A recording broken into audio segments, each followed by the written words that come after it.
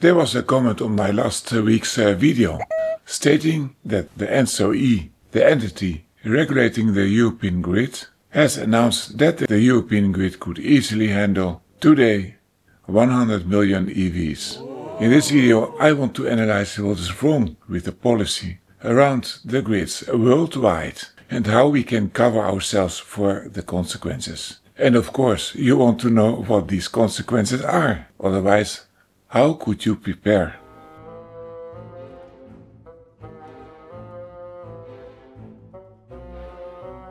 Hi Norbert here, I'm energy engineer and video number 95 I explain how to produce and to save energy and to prepare for a situation that is alarming everyone who knows what's going on now. I wanted to go on with the supercapacitors and to build it in the car. But in the week of Easter I got so much work that I postponed it to the next week.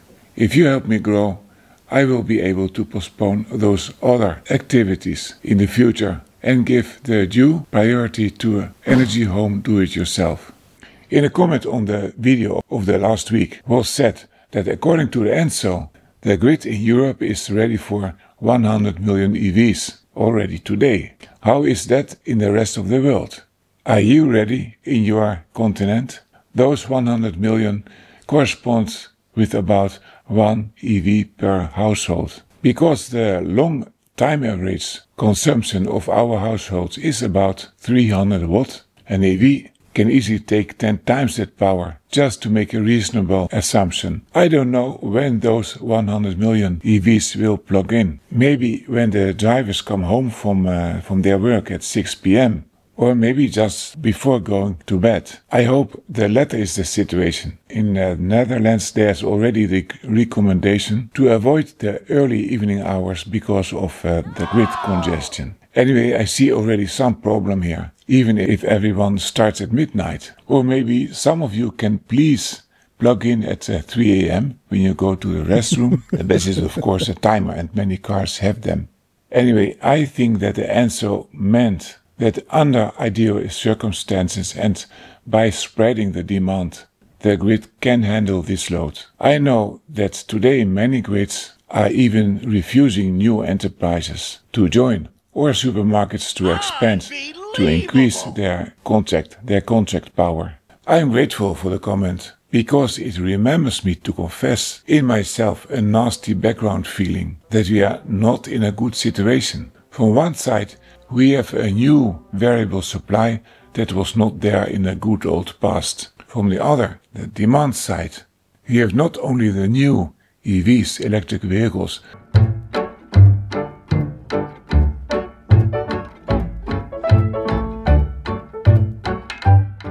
but we have also the new heat pumps. Both are incentivized by many governments. Both EVs and heat pumps are big consumers. I like them because they are good alternatives for fuel, for heating and transporting. But I feel that the grid is not prepared.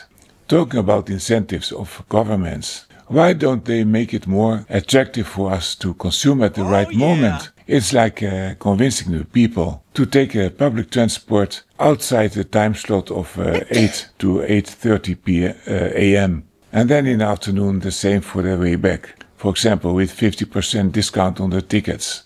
I show in this video already how good it would be to have dynamic tariffs. Hardly anybody knows them or uses them, and the grid operators are absolutely not applying them sufficiently. Oh. Take Italy, with 90% of meters are smart meters, but there are legal barriers to use them for dynamic tariffs. And there you have uh, Germany, where it is possible to have uh, every hour a variable market-based and real-time tariff. But they have only half a million smart meters. What's going on here? Can you please explain it to me in the comments, if you know it?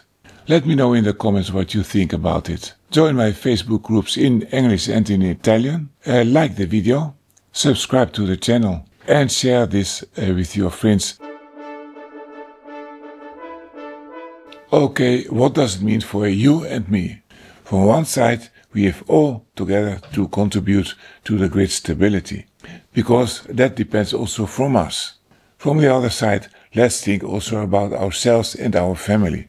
If the grid will collapse because of this situation, we want to be prepared. That means that we have power, even if the rest of the neighborhood is in the dark. I am sorry for them, but somewhere we have to start, right? Even in less dramatic circumstances, we want in all cases to reduce the cost of energy. You do that in two ways. Produce energy yourself, starting small, and see the last video.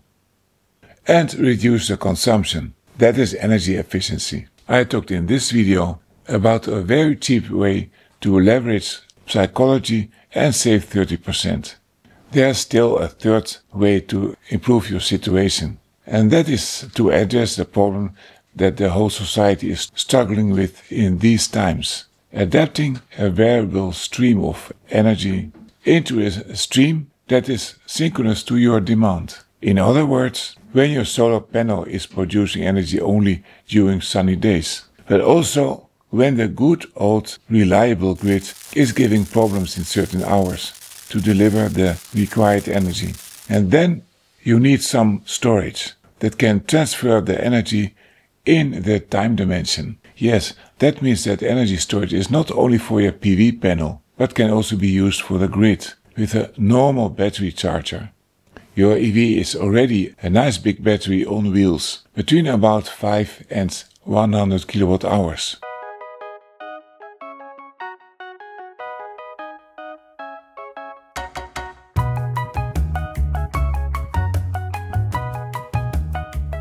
Enough for the electric consumption of about half a day or uh, nearly uh, two weeks.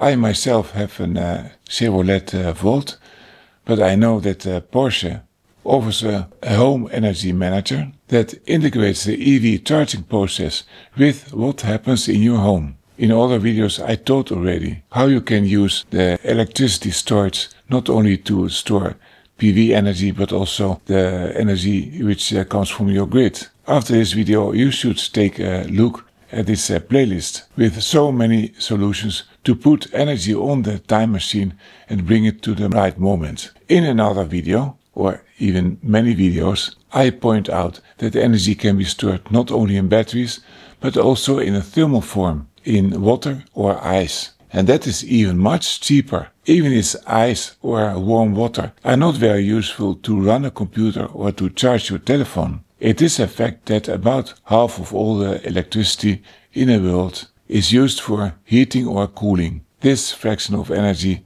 doesn't need batteries. Heat and cold can be stored at a very low cost per kilowatt hour. It has also the advantage that it is ready to be used without the need for a refrigerator, for a freezer, for an air conditioner, and on the warm side it doesn't need an air heater or a heat pump to make the final conversion from electricity to heat or the cold. It's a final form because it's already there, waiting to be used. This video 71 shows how I was able to cut the pipes to the central uh, natural gas heater.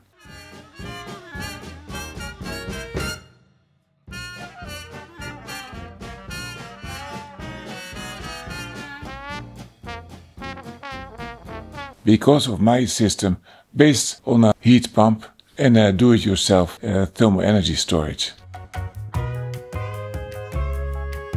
In the last video I indicated also the trend of energy supplies to be less generous to PV owners. And in the Netherlands there's a widespread insatisfaction about the decreased financial convenience for former enthusiastic PV owners.